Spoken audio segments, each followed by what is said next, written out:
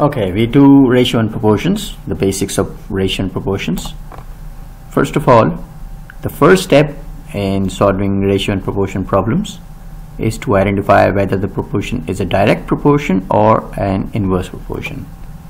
Let's see, in simple words, in a case of two variables, if the value of one variable increases when the value of the other one increases, it means both are going in the same direction and increase this is the case of a direct proportion. Or if the value of one variable decreases when the other one is decreasing this is also a case of a direct proportion.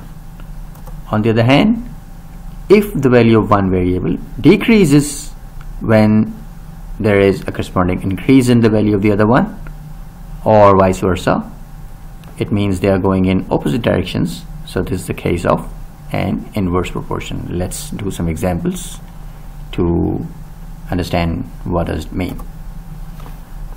Okay. So the question says the weight of 45 books is 13.5 kilograms. What will be the weight of 56 similar books?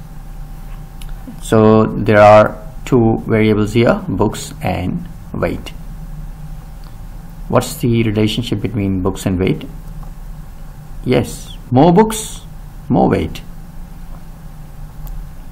So if we increase the number of books the weight should also increase.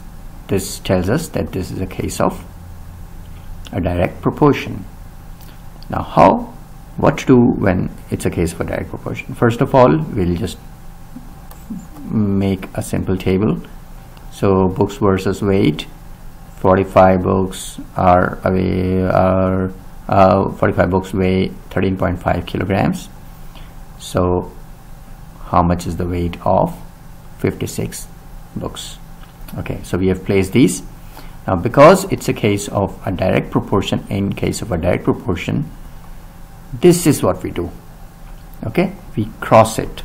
What do we mean by crossing? So 45 is connected to x. It means that 45 times x equals 56 times 13.5 this is what we do in case of a direct proportion.